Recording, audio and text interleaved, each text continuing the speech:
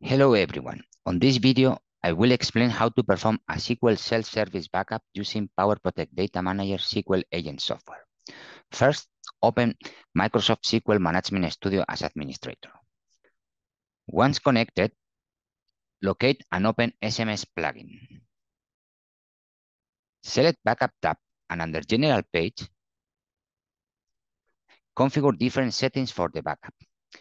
SQL Server host, select the SQL Server where the backup will be performed. For AAG, make sure that Windows cluster name is selected. SQL Server instance, select the SQL Server to be protected.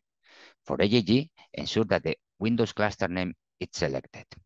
Database filter, add a filter to display all or some of the DBs only, either for AAG or non-AAG.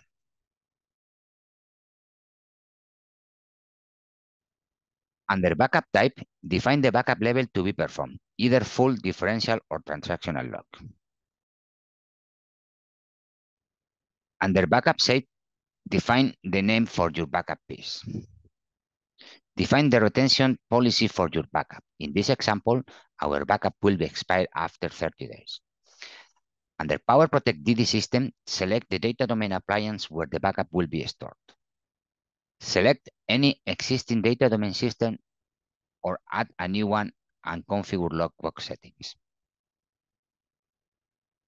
Under option page, you can configure different options for the backup.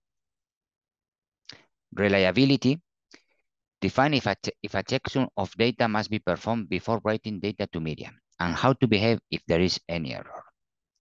Transaction log defines whether to truncate the logs after the backup or not. Stripes used to configure striped backup and number of stripes used.